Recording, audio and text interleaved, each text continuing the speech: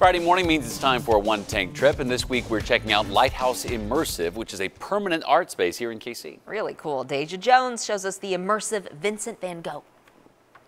This digital art experience allows you to view Vincent van Gogh's art like never before. When you first walk in the doors, I think that you're absolutely going to see this. Vincent uh, has several paintings about sunflowers. Absolutely. Right, they're very warm, they're very inviting, and I think that's what this emulates. The idea of this space was not only who is Vincent and his work, but what did he do? Yeah. so he would actually write a lot of letters alongside of painting. Okay. So he wrote thousands of letters primarily to his brother Theo, Uh-huh. who was his emotional and financial counterpart part at the end of his life.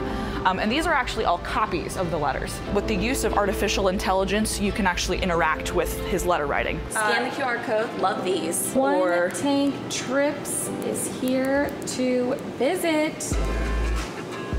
Heart. Can I do an emoji? Yeah, go for it. See what happens. Emoji. Boom. Send.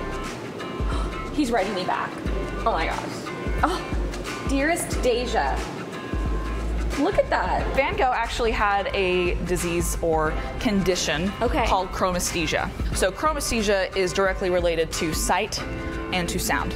So when Vincent would hear a particular tone or hertz decibel, it mm-hmm. would be the impetus for him, for him to see a particular color. So, they've created this booth to simulate what people with chromesthesia might experience. It's trying to envelop you in the sound and in the color.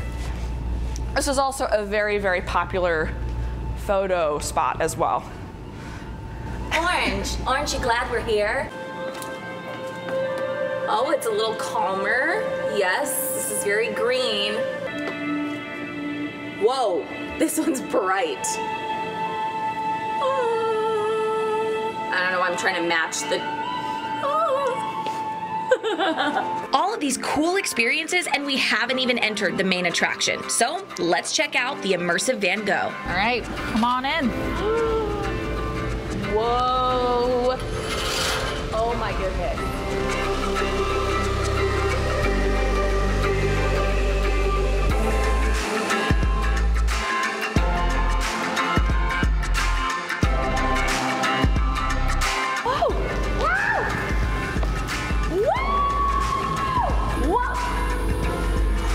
So cool.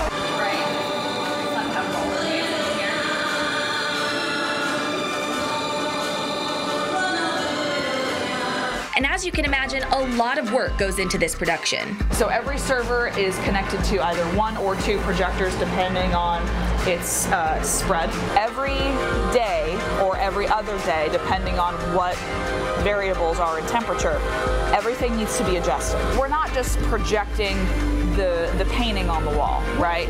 It's it's taking the painting and taking the point in his life that he was in, what he was might have what he might have been thinking, and putting that into a creative story for everybody to enjoy. So go ahead, dive headfirst into Vincent van Gogh's work at Lighthouse Immersive. For One Tank Trips, Deja Jones, KSHB 41 News.